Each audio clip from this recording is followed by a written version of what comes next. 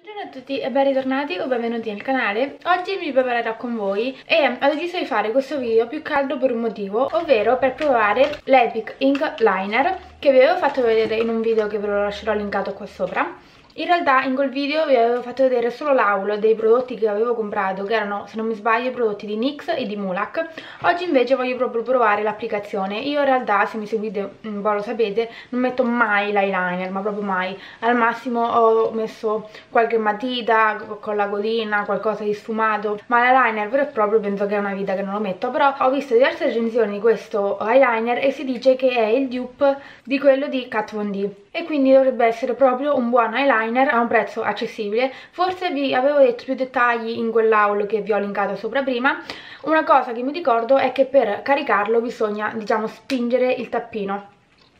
E in più la punta è fatta da tutti eh, diciamo da tutte piccole sedole. Adesso non so bene spiegarmi come quello appunto di Kat Von D. Per sapere comunque maggiori informazioni e più dettagliate andate a vedere uh, la recensione che aveva fatto Clio Makeup che sicuramente è molto molto più dettagliata, precisa e migliore di quello che vi potrei dire io. Però prima di tutto cominciamo facendo la base. Allora, io ho già messo crema idratante e burro cacao e ultimamente la base la faccio utilizzando prima il correttore della Maybelline, quello nude, che ho ricomprato poco fa, vedete che è nuovo, quest'altro mi era finito Scusate, ho gli occhi abbastanza stanchi.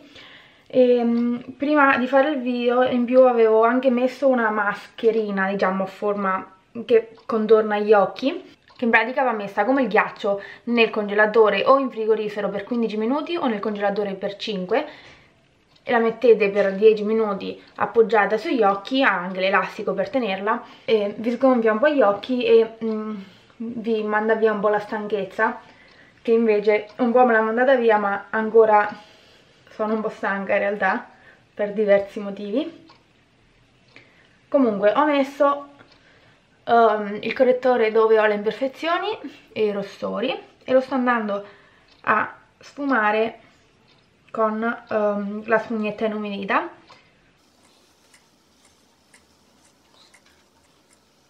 Ovviamente questa è una base che non ha una coprenza altissima dove vedo che mi ha coperto di meno infatti ne vado a mettere un altro po' e poi in realtà andrò a mettere un altro correttore per avere una maggiore coprenza. Però faccio questa cosa perché in questo modo non metto il prodotto su tutto il viso ma lo metto solo dove ho bisogno. Infatti ora vado a mettere il mio solito correttore della Kiko che penso tra un po' me lo tirate perché lo, lo metto sempre, lo dico in tutti i video e lo tampono con il dito qui dove nasce l'occhiaia per prima cosa. Proprio in questa parte iniziale dove nasce senza portarlo troppo all'esterno. Sulla palpebra.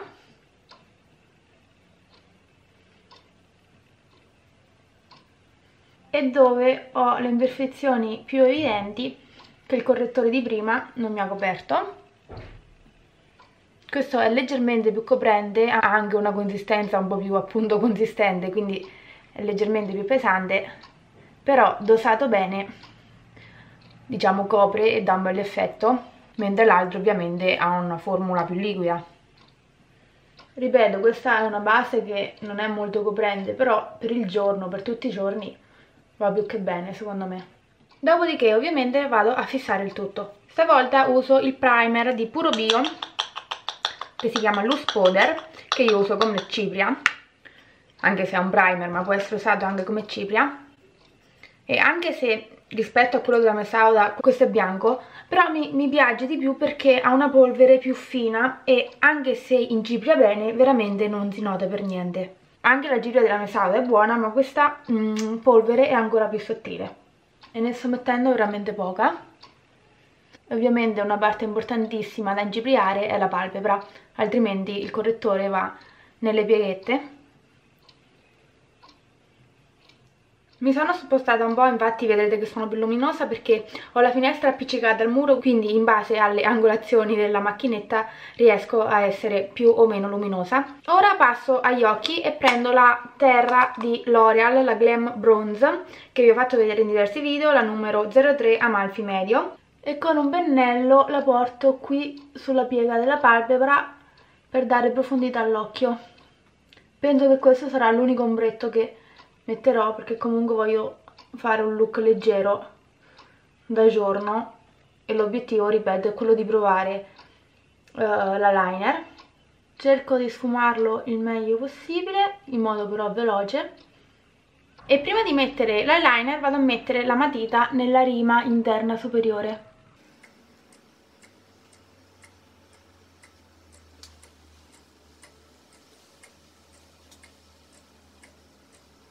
questa è la mia solita matita della Essence la Long Lasting High Pencil e la colorazione è quella nera, la numero 01 se non sbaglio, sì. Ho avvicinato lo zoom sperando che riesco a farvi vedere bene l'applicazione e vado a prendere questo benedetto eyeliner. Sinceramente ho abbastanza paura, verrà sicuramente un pastrocchio. In realtà io voglio andarlo mettere, a mettere solo alla fine dell'occhio e fare la codina, non lo metterò nella rima superiore.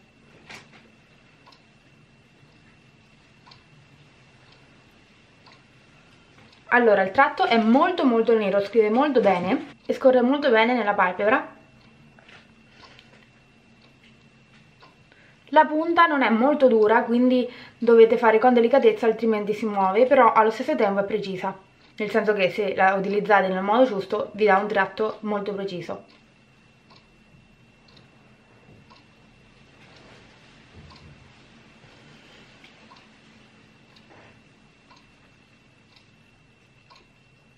Questa è una mini mini mini mini mini coda. Voglio provare a farla un po' più spessa o almeno un po' più lunga.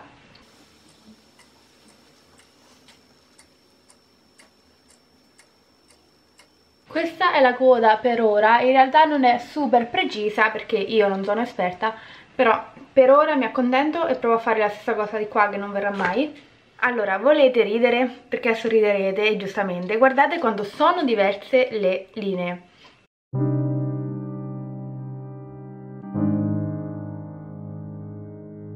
Qui in pratica abbiamo un'egiziana e qui una cosa molto più delicata. Insomma, non sono per niente uguali, provo a rifare il tutto. Sto andando a levare l'eccesso con un cotton fioc un po' umido. Sto facendo un buon casino, ma lo avevo previsto. Vado a riprendere un po' di correttore per coprire l'alone nero. Vado a riprendere la liner e spero di essere più fortunata. Allora, questo è quello che è venuto fuori. Questa coda mi piace molto di più perché è molto più fina, delicata. Ho messo anche in questa parte meno eyeliner nella rima, diciamo, superiore, sopra alla rima. Qui mi è andato un po' più di eyeliner.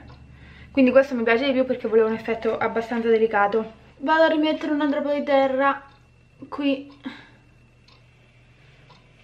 nella, nella piega.